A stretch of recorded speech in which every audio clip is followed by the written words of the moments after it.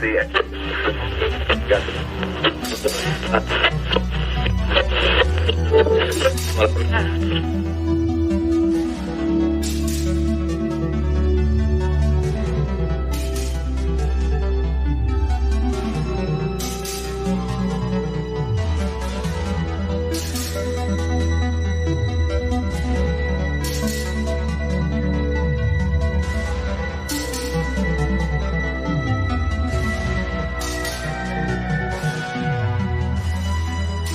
Welcome to the show. This is the Magician and the Fool podcast. We are on episode number 59. My name is Dominic. I am one of the co hosts. The other co host is Janus, who will appear shortly. In today's episode, we speak to Paulina Gruffman, who is a PhD student in the history of religions at Lund University. She specializes broadly in European occultism from the 1800s until roughly the 1930s, Western esotericism, ancient and modern, as well as the intersection between early psychoanalysis, the occult milieu, and modernism.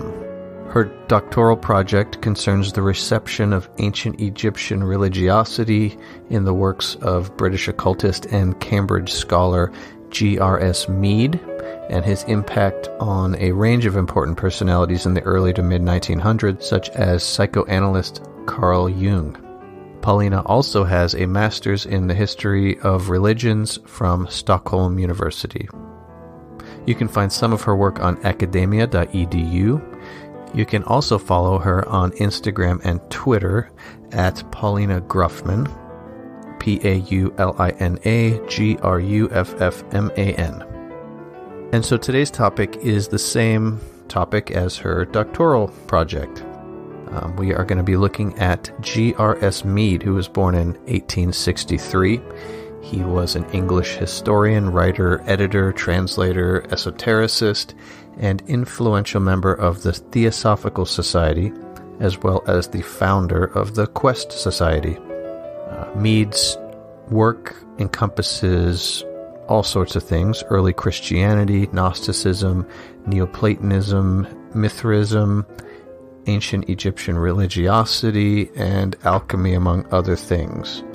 So, if you're into any of that, you might be interested in G.R.S. Mead. His work is readily available and can be found quite easily, so I would definitely check it out if any of those topics interest you, which, if you're listening to our show, I'm sure they do. Before we get started, I definitely want to say thank you to our Patreon supporters. We appreciate you. Thank you for helping us keep the lights on here and help keep the show rolling. If you are interested in helping us out and supporting the show, becoming a partner with us in this work, please feel free. Head over to Patreon and sign up. We dedicate this work to Hermes and Asclepius, and may any merits that we accumulate be distributed to all sentient beings so that they, together with us, may equally realize awakening.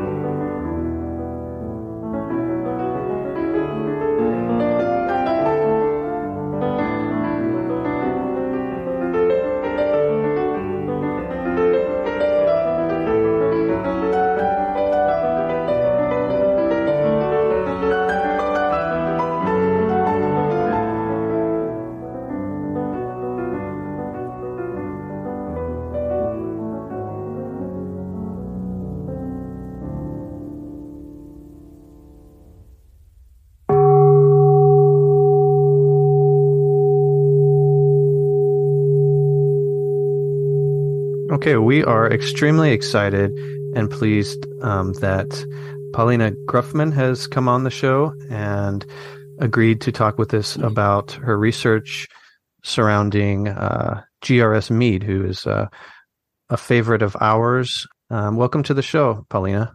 Thank you so much for having me. I'm very excited to be here.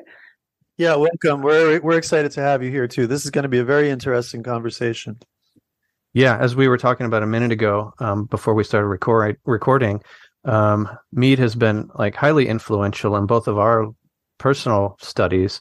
Um, he was one of the scholars and authors I found early on in my my studies into esotericism, and he really um, resonated with me. Just his style and the focus of of his research. Like I really connect with um, his his his stuff on John the Baptist, Simon Magus.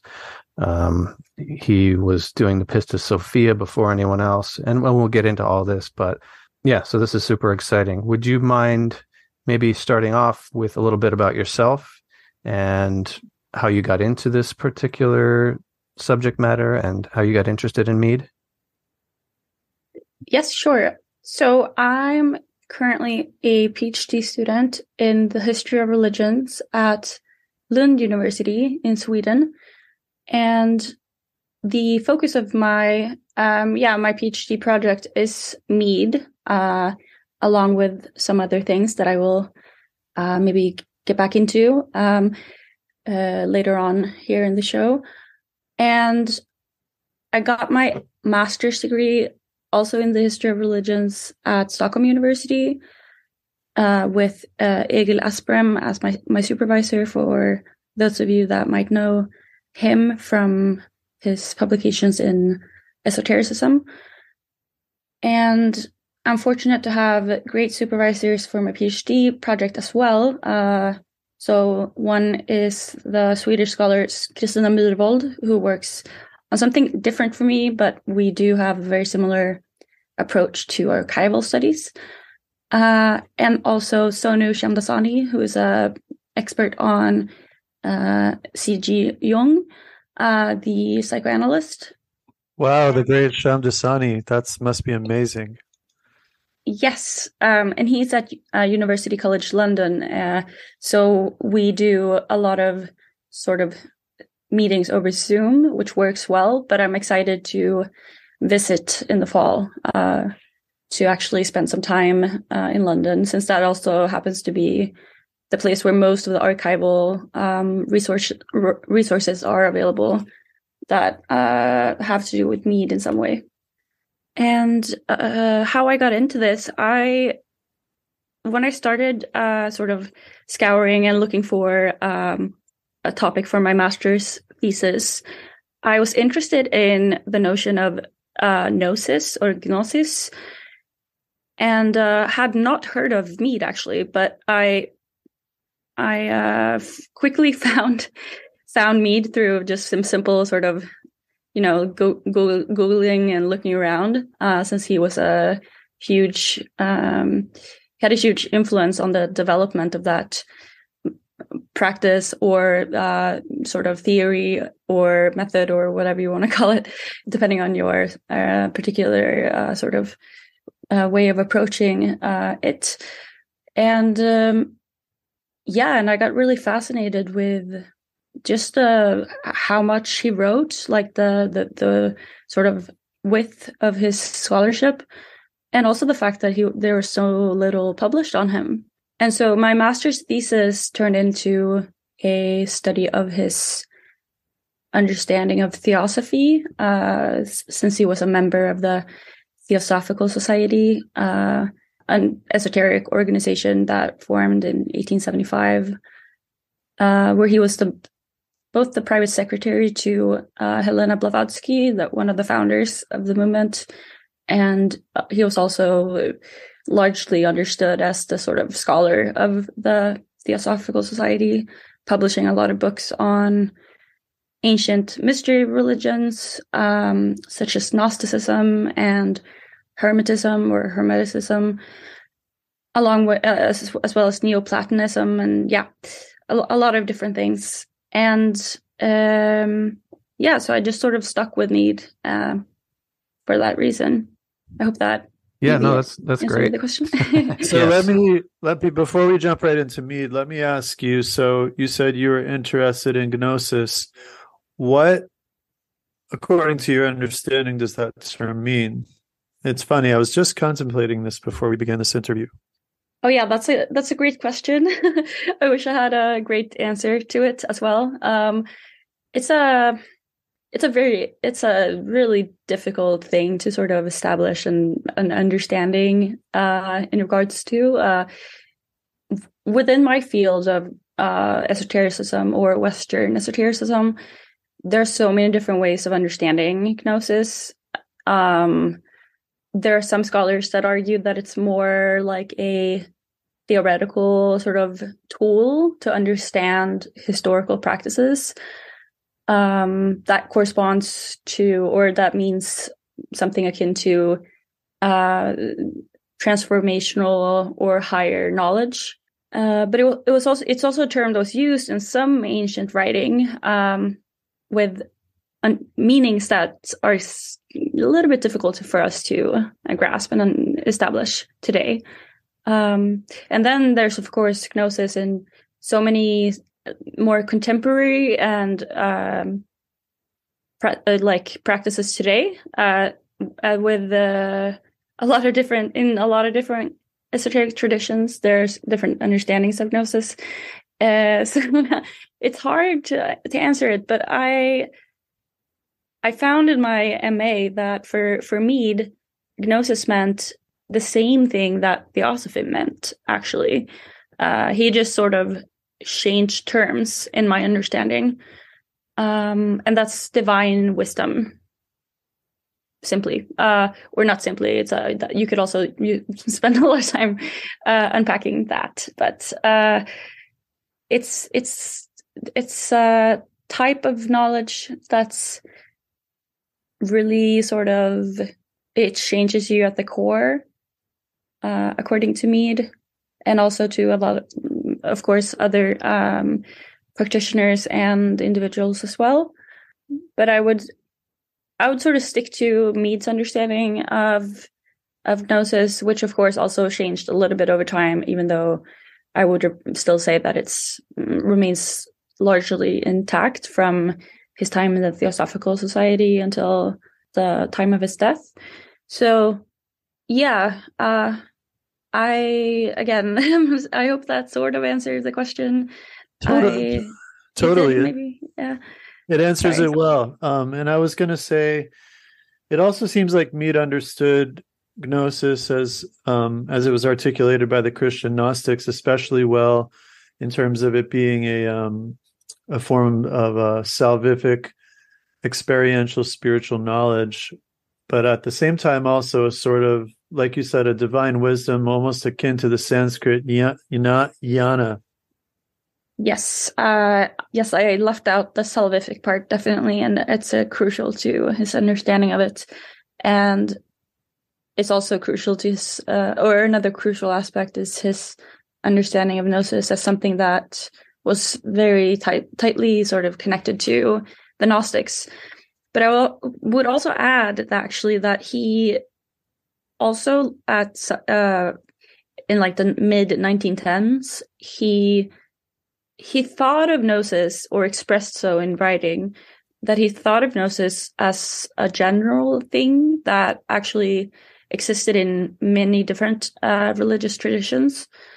Uh, I can't recall at the moment any specific mention of sort of Indian religions and and uh, the don't know how to pronounce it, but jnana uh, concept, which I've also sort of pondered in the past as well because th- they seem very similar. But I I can't remember if Mead actually wrote anything specific on that, but he certainly uh, thought of gnosis as something you could find in many re- religions, as well as um, likely in other types of like philosophical traditions, in scientific traditions, if only they were applied in the correct way. Interesting, interesting. So let's jump into a big question who was GRS Mead? Because I think that some of our audience is going to be familiar with him, perhaps just in a passing way. We're going to have a lot of people listening who who may who may not be familiar with him, and uh, personally, I think that's a shame. So let's let's historically, who was this man? Yes, um, Mead. So he was. I can begin with just stating the sort of time period that we're in. And Mead was born in 1863, uh, lived until 1933. So he lived during a very, very, very, very interesting uh, time period where, where a lot of things sort of occurred in various uh, different uh, parts of uh, like culture and in just this, this historical period is very uh, produced a lot of different things. Um, and he was born in uh, in a small city that's outside of uh, Warwickshire in, in United Kingdom or in England, and quickly sort of moved away from there and attended a school uh, that I forget exactly where it was current, but it's a different part of England.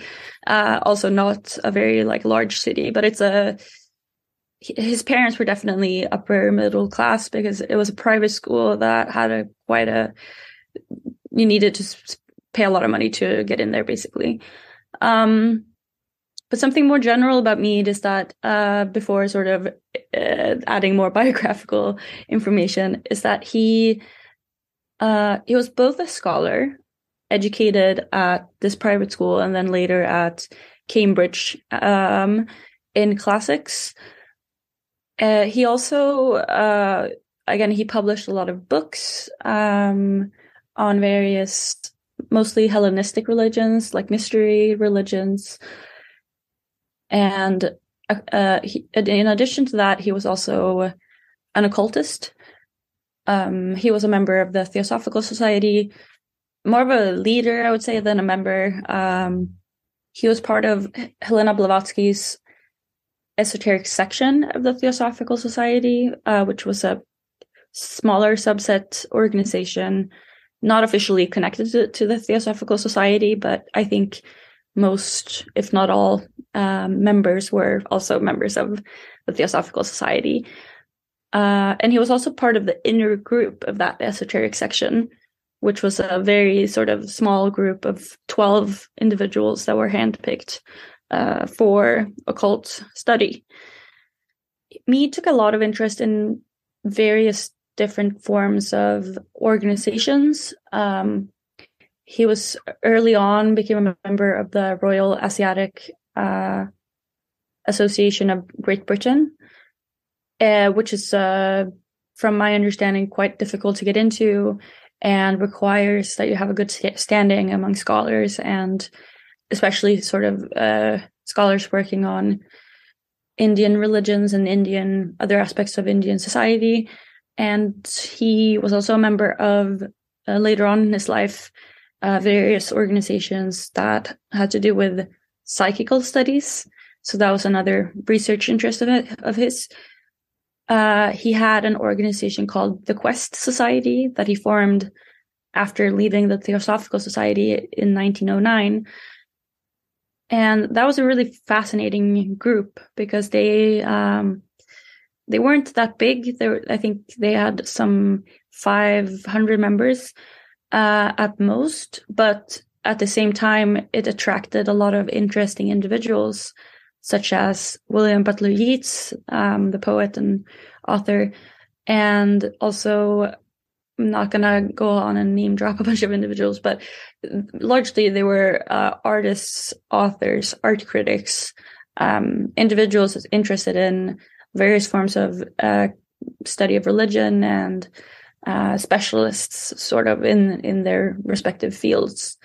So it's a very important society that requires more study, and I haven't gotten gotten really far in in that yet, but it's definitely going to be part of uh, my PhD studies um, since I'm only still in my my um, first year at the moment. Cool. Is uh, there is there any sorry to interrupt. Is there any remnant of the Quest Society that survives today that you know? Well, we know we know where they met uh, in Kensington Town Hall in London, and I'm still looking, and I'm really hoping to find uh, complete membership lists, uh, as well as any any other documents uh, like minutes from meetings and um, titles of lectures, or even if anyone uh, transcribed uh, lectures. Um, because that's that's what I know uh, at the moment of the Quest Society is they they published um, a magazine called the Quest Quarterly Review, which is in in a lot of respects it's a sort of a continuation of Mead's um, or not Mead's journal, but the Theosophical journal, uh, the Quest, or sorry, the Theosophical Review, which Mead edited uh, for some time before he ended up creating the Quest Society and, and leaving Theosophy behind. So I see those as overlapping in some regards. Um, so we know they they published articles in this journal that Mead edited, and we know that they met uh, and listened to lectures, but we don't really know exactly what they did. And I think that's really like exciting to think about because, uh, I mean, of course, that could be it, but it could also be other types of practices and things that they did together during the meetings. It's particularly interesting to me because of a few few reasons. For first of all, it seems like perhaps um, you know the publishing arm of the Theosophical Society is still called, I think, Quest Publishing, and I, it seems like that must be an inheritance of that. And um, also, you know, from what I understand, in early Theosophy, before things changed, there was a more experimental um, experimental component where they were doing magical magical workings and things like that, theurgic workings. Only later did it shift to more of a focus on mysticism per Blavatsky's direction, and it it just makes me wonder if Mead himself was engaged in some kind of theurgical practices, especially given um, given the given his proclivities for writing on those spe- that specific uh, point. Yeah, that's a very interesting question. Um, or like connection that you drew between the quest and the quest publishing and also the practices of the early Theosophical Society. The Theosophical Society, if I begin at that, and they had uh, three objectives that sort of shifted over time, and the the when it what ended up being the third objective, the investigation into the mysteries of nature and the sort of laws that govern the universe and psychical phenomena. Um, that was actually the first uh, objective that was then reformulated uh, several times, but uh, in a way, you could say that was the first objective of the Theosophical Society when they first uh, formed in 1875. And it continued to be so, uh, like you say, with various sort of experiments and uh, theological practices, uh, etc., during the 1880s. And I, well, so it's hard with me. Uh, I don't know what he did, like in his private home, so much. Um, and I don't know exactly what uh, he did together with the other members of the inner group and the other members of the esoteric section. Uh, so it's it's hard to speak on private practice, but I know from this the official things that he that he has said at various times during his life that he he did not really have any respect for, nor did he encourage individuals to sort of turn to the the wrong ends of magic or the wrong ends of occultism. And he also sort of spoke about the inner group and the esoteric section uh, as a bit of a negative experience for him and something that he he said he would he did not want any uh, and this is pretty much uh, an exact quote. Uh, he said i don't want any occultism or esotericism or anything of the kind in the quest society. And i think that was in in a retrospect uh, like 19 late 1920s Uh, but at the same time, he never actually ended up telling anyone, uh, at, at, least pu- publicly in publishing, the secrets of what sort of occurred uh, in the inner group, in the esoteric section, in the Quest Society. There's a lot of things that were left silent and secret. And even if so, if you say he wanted to sort of speak negatively about uh, various forms of occult practice, it's it's as though he still wanted it to, to remain secret, and in a way that to me gives um, a suspicion that maybe he ha- had more of a sort of affirmative and positive view on matter than he would publicly let out, um, and which could also be strategic from him uh, maybe he didn't want to be associated with magic or occultism, uh, but wanted to be seen more uh, as a non-occultist uh, scholar. Are you able to speak on maybe the relationship he had with the Theosophical Society from the beginning, and then how that changed towards towards the end? Sure. Yeah. Um, Mead. So he entered the Theosophical Society in the 1880s. And that was after he uh, got his bachelor's degree from uh, uh, from Cambridge. And I think that was that was uh, it was during his studies there that he discovered the Theosophical Society. I don't yet know the details of his how he got into contact with Blavatsky and how he so quick sort of rather quickly uh, came to be her private secretary and got to work with her so closely. Mm-hmm. But um, I think he took it very seriously. Uh, he spent so much time um, writing on theosophical matters and the theosophical magazines and in sort of traveling and did a lot of lectures abroad.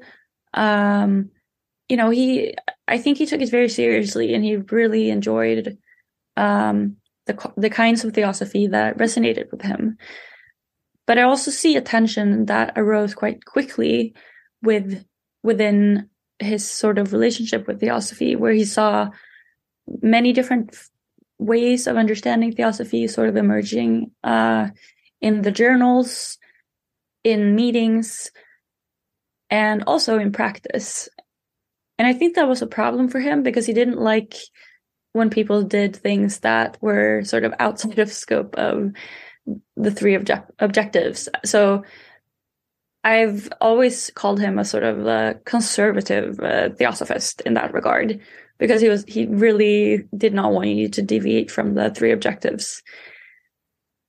Um and sorry, what was the other part of I was just of, curious how the relationship changed because it seemed like as the Theosophical Society evolved, that there were a lot of different relationships and uh, a lot of politics, and not everyone was getting along. And it sounded like towards the end of his um, involvement with them, things were kind of um, uh, tumultuous. Oh yeah, yeah, yeah, sure. Um, yeah, so the the official sort of uh, point of tension or reason why Mead left the Theosophical Society, but also sort of prior to him leaving, why he started to feel frustrated with Theosophy.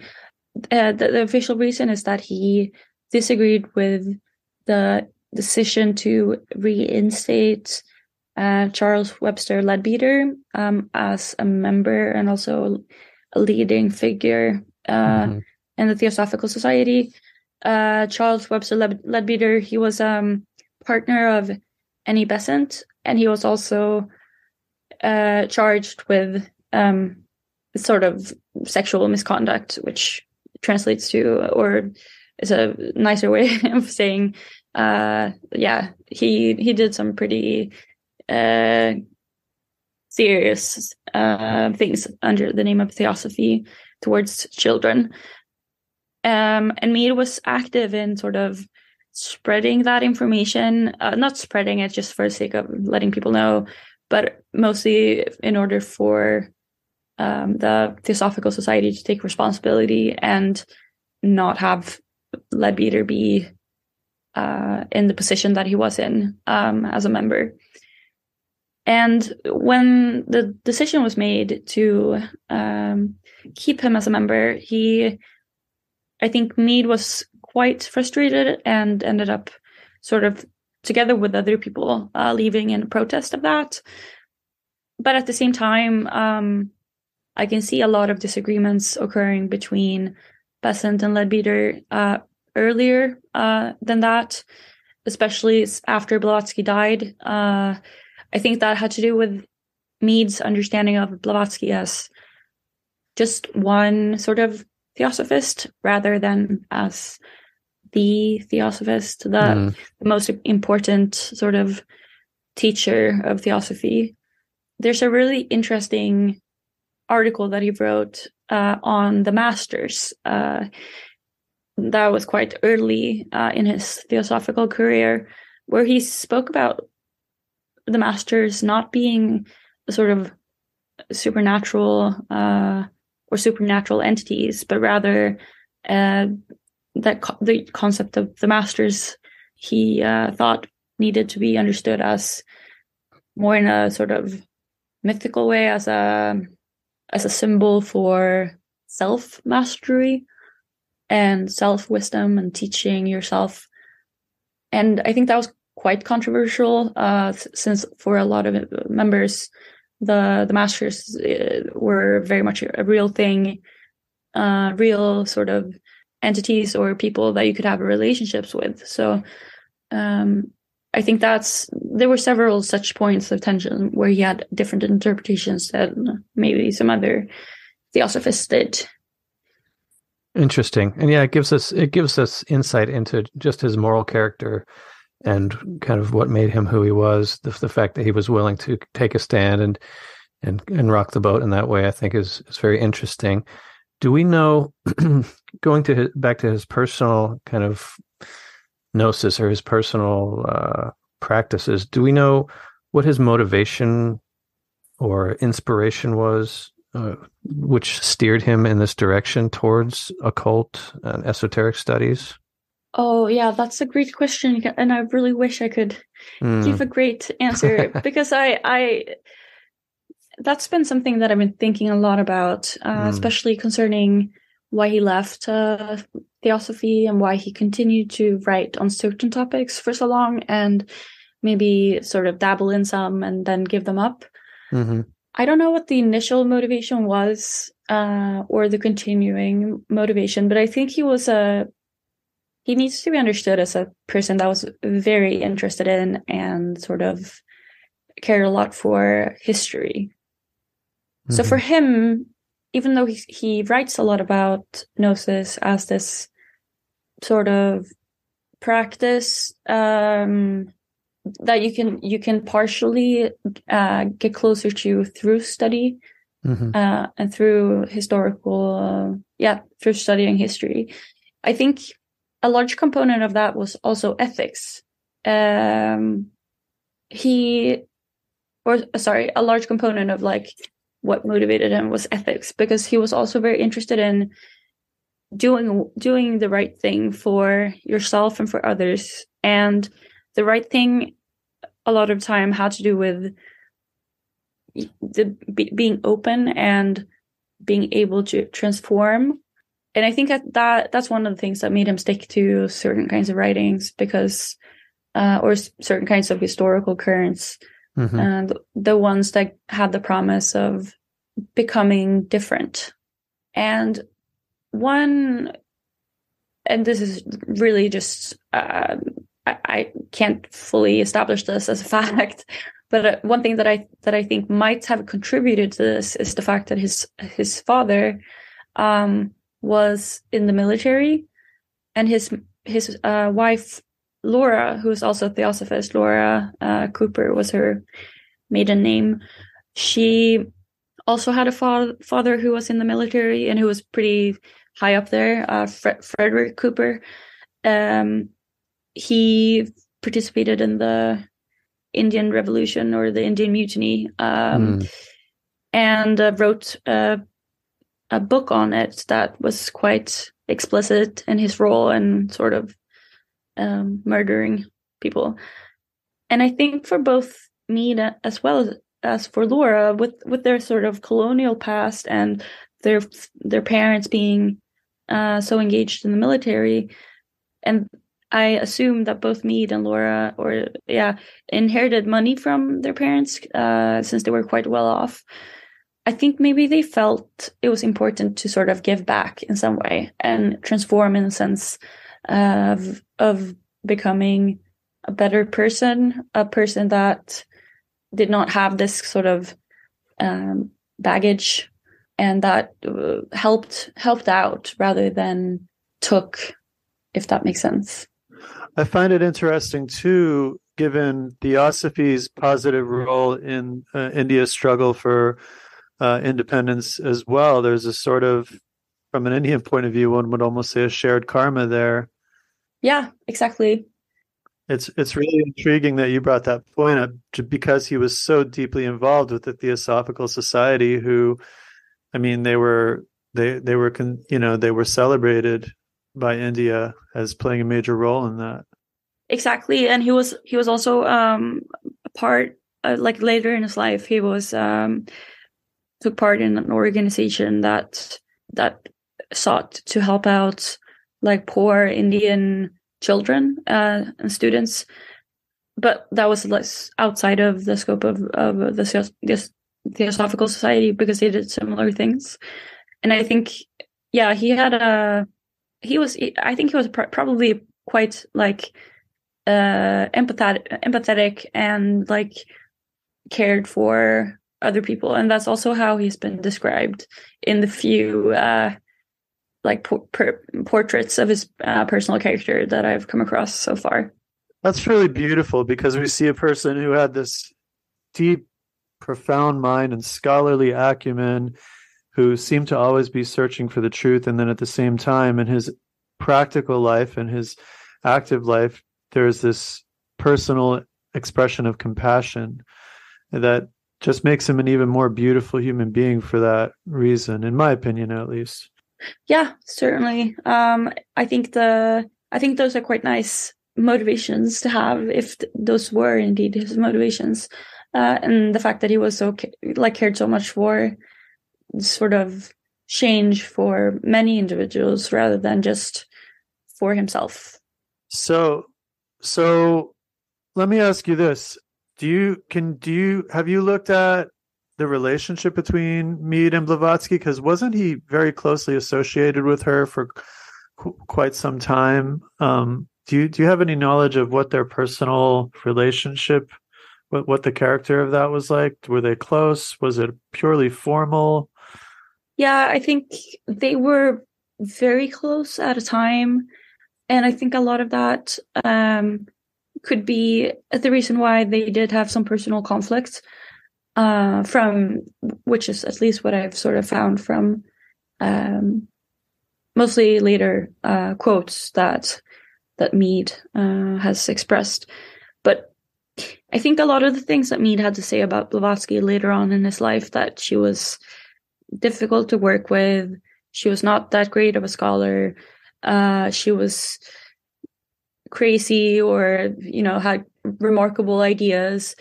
I think a lot of those things that he had to say, they were probably based in the fact that he was so close to her that he was able to also criticize her in the manner that he did. And I think he remained quite loyal to her even after he left uh, the Theosophical Society. Also, uh, since he maybe not explicitly expressed it, but he it seems implicit that he didn't like the the the turn that Theosophy had taken after that, after she passed. And um, so I would say that they definitely did have a relationship that was both positive and and, and negative, but it was uh, definitely close uh, during the time that they worked together.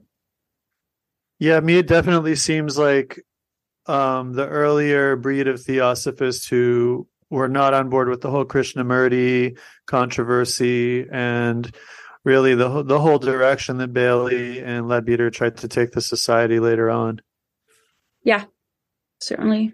because there was also that splinter theoso- couple splinter groups from the theosophical society um, that just refused and broke off I, I, was always surprised that he hadn't become part of those another thing i wonder about was the fact that if you look at isis unveiled probably due to her connections to the hermetic brotherhood of luxor um, and things like that there's a favorable attitude towards Gnosticism, Hermetism, Neoplatonism, the Egyptian mysteries.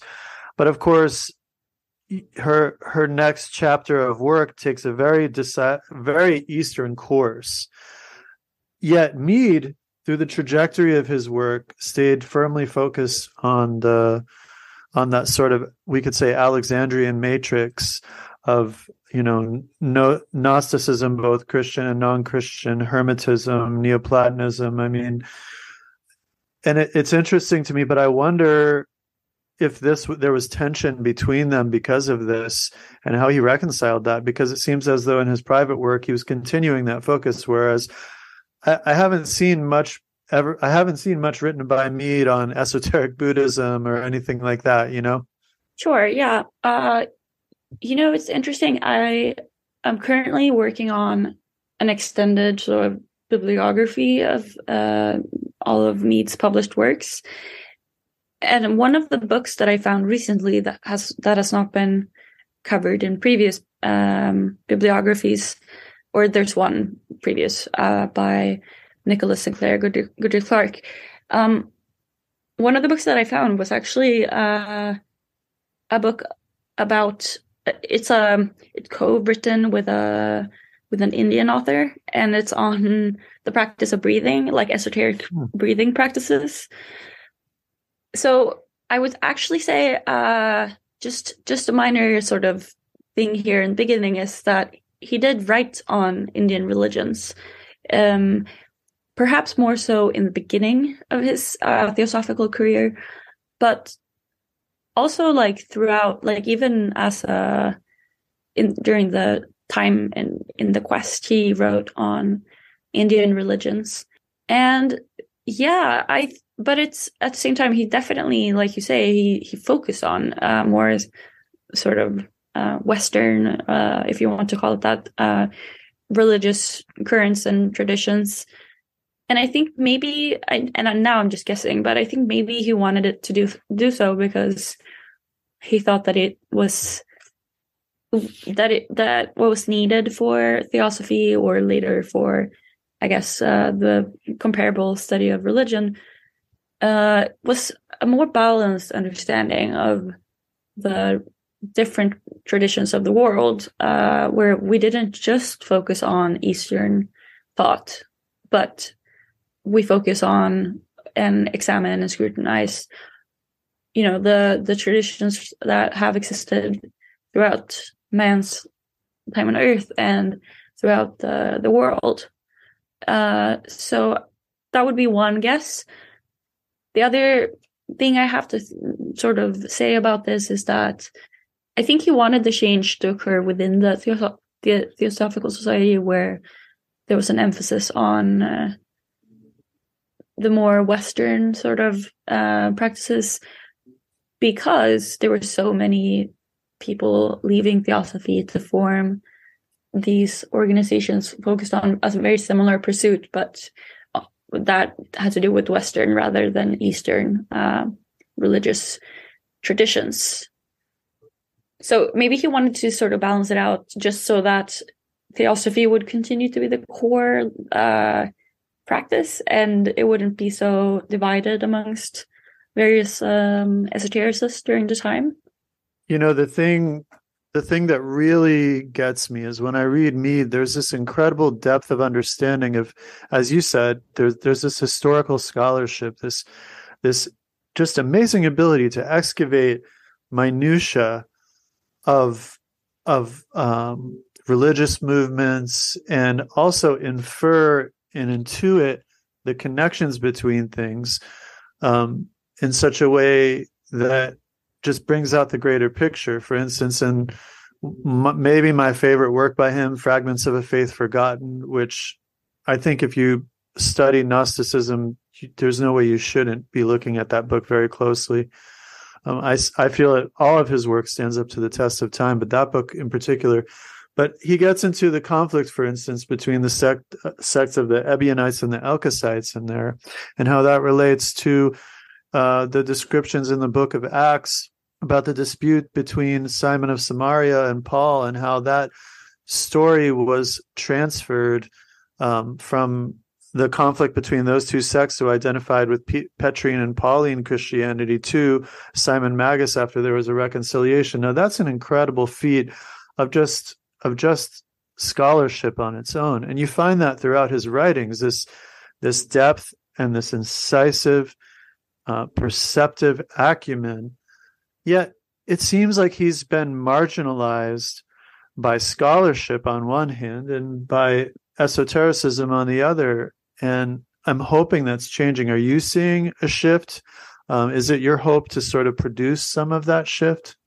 Yes, I I would agree with you definitely that um, his his works are incredibly rich um, in sort of making connections between things and very uh, interesting readings of uh, the various uh, historical movements that he has studied. One one thing that I can see coming back, and that one thing that sort of definitely really really stands the, the test of time is his emphasis on ancient Egypt as a sort of, in many cases, the cradle uh, for uh, later traditions and later um, impulses. And I, and we can see this with the the studies in Hermeticism that are taking place today. Uh, whereas mead was overlooked during most of the the 20th century, I would say. There's been a, a small uh, but maybe growing impulse to return to mead and to really consider whether or not, for instance, the Corpus Hermeticum could have been perhaps not written down uh, in Egypt, but at least like existed as a practice or an oral tradition uh, that Egyptian priests sort of carried out.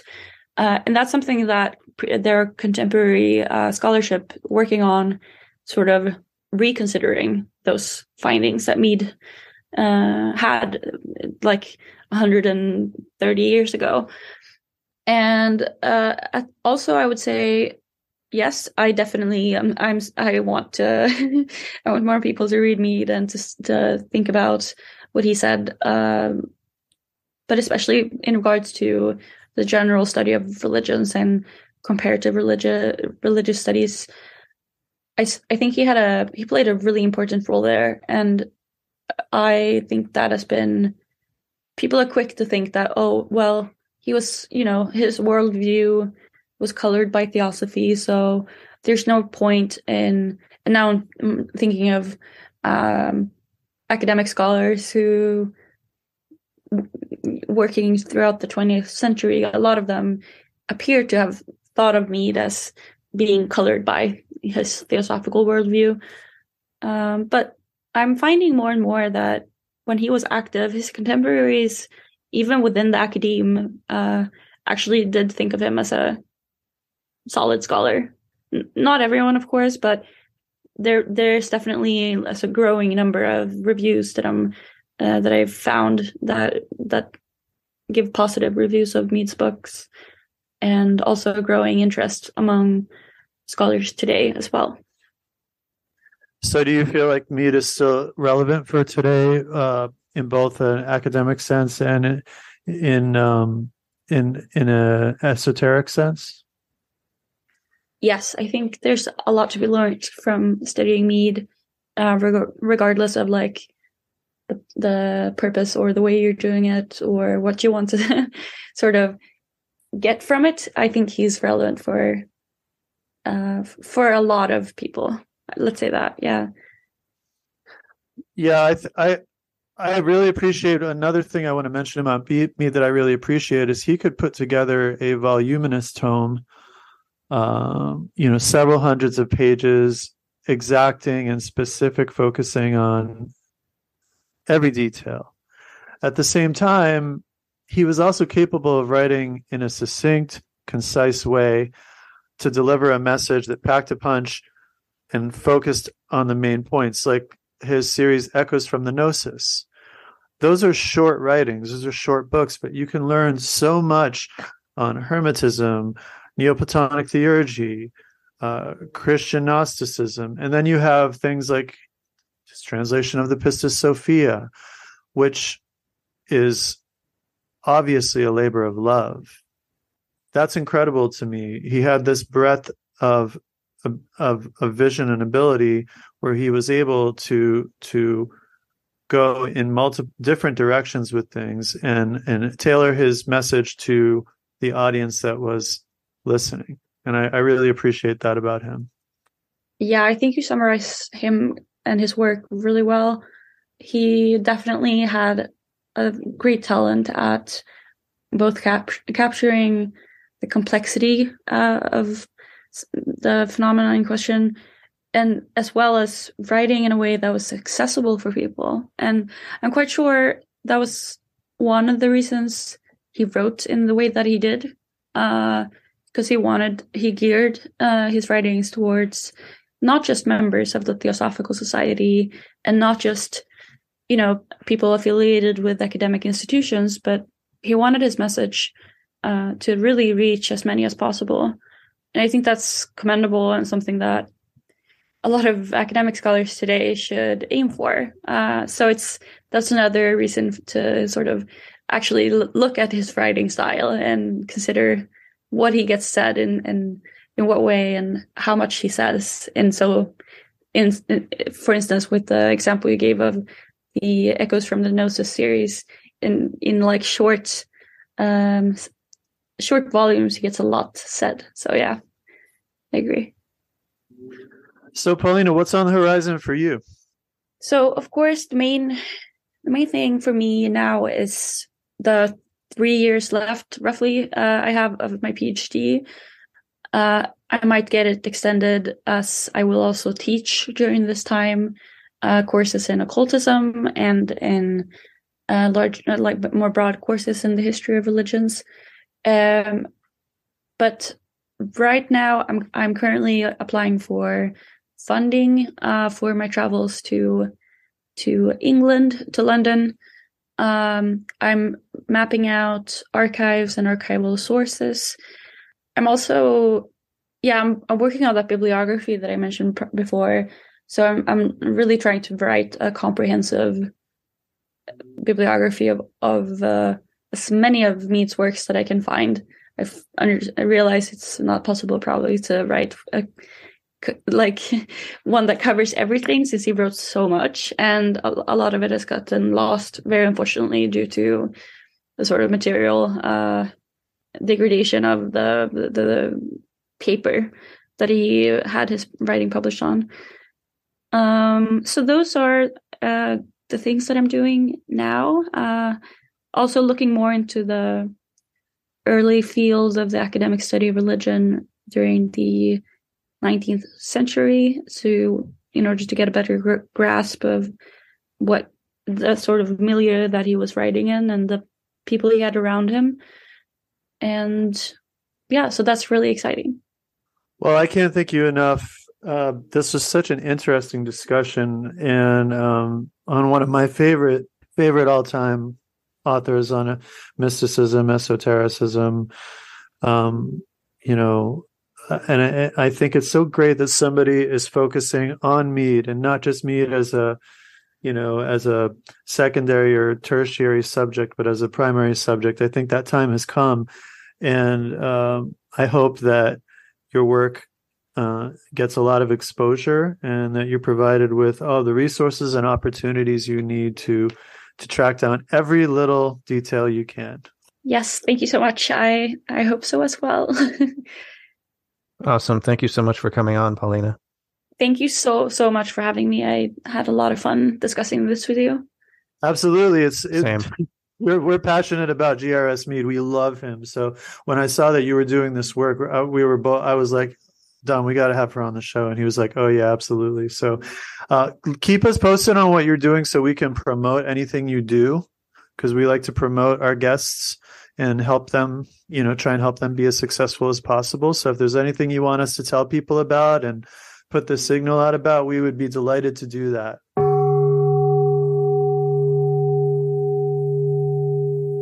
Okay, that was Paulina Gruffman on G.R.S. Mead, the legend.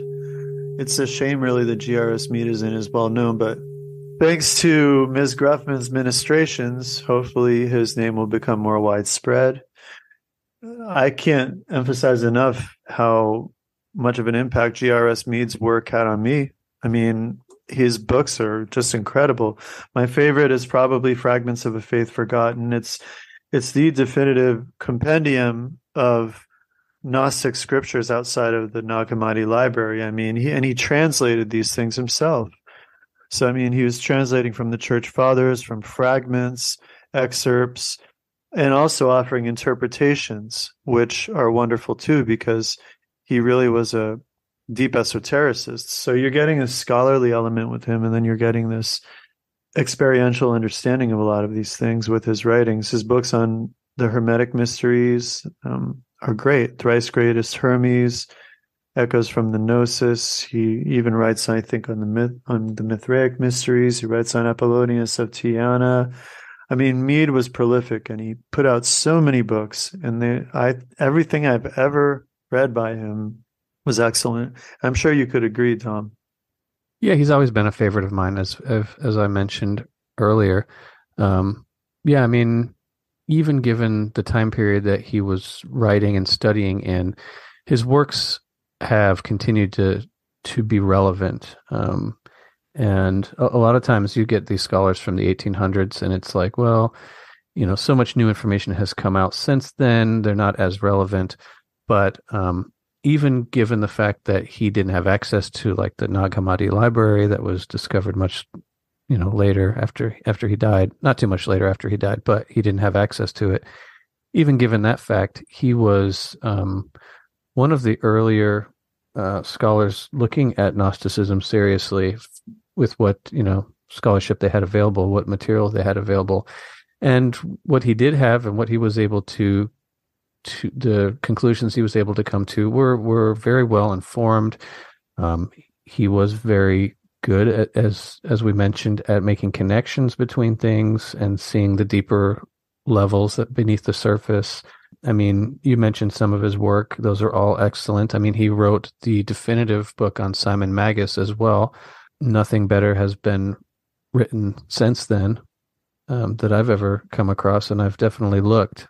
So uh, it would definitely be worth anyone's time to to look into his writings and his his work.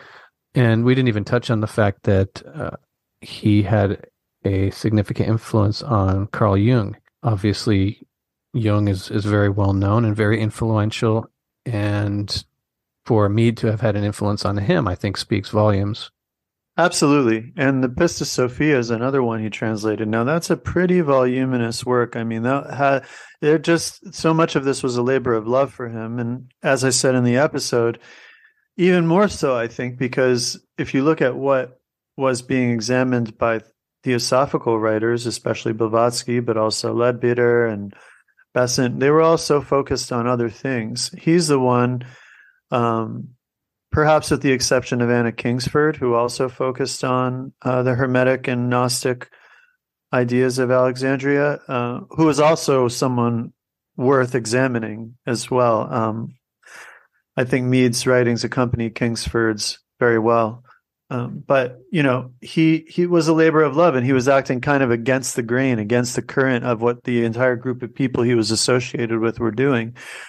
And then just to hear Paulina described his character, that he was an upstanding, honorable man who went out of his way to act charitably and help others. It's just really just adds this another layer to it. Not only was he a a respect a respectable scholar doing groundbreaking work uh, and and offering valuable interpreta- interpretive component to that work, but he was also genuinely trying to benefit others in real life. I mean, just such a cool person. And to me, this is somebody who's walking the walk and not just putting information out there and talking the talk. Okay, nicely said. What uh, what do you got for us this week as far as the book segment?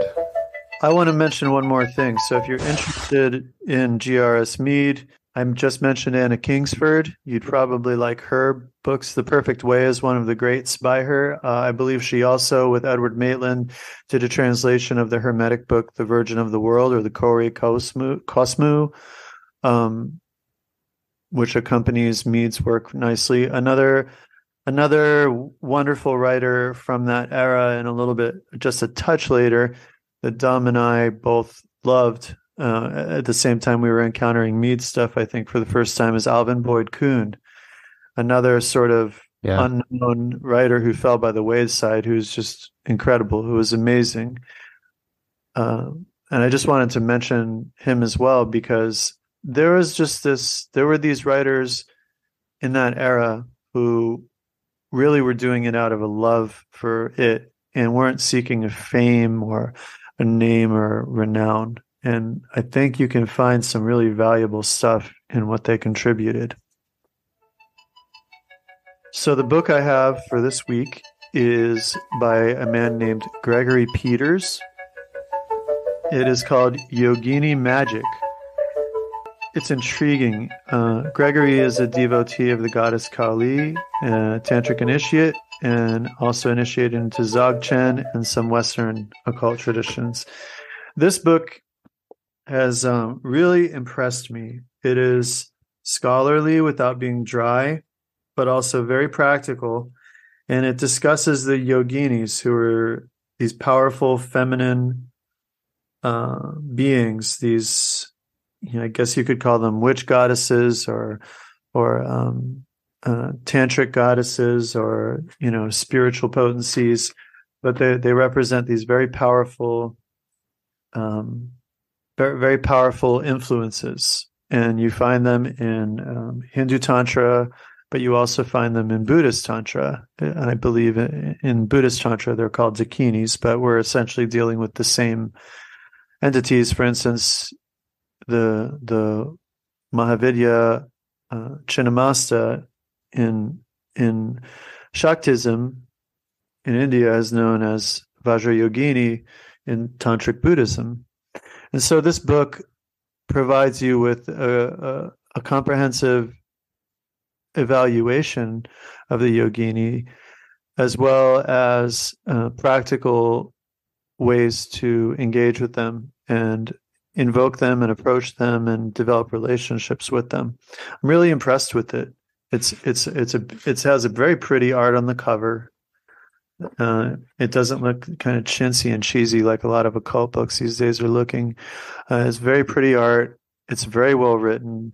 Uh, it has many references to traditional um, traditional tantric scriptures. It has some great. It has a great glossary at the end to help you with any terminology you may be unfamiliar with. And it does a great job contextualizing the yogini, the dakini, within their traditional worship. While at the same time, this book is written for a Western audience. So it's nice because it makes it something that might seem too alien or exotic more accessible for people from a more Western background. And again, this is written by Gregory Peters. Uh, it's published by original Falcon Press, Yogini Magic. Sounds awesome. Okay, well, thank you everyone for listening. As always, we appreciate your support. We appreciate your listenership. Um, so, we also want to, like we like to do occasionally, uh, we are not being paid for this, but I want to plug a business, small business that we appreciate. Uh, it is called Hermes of Valis.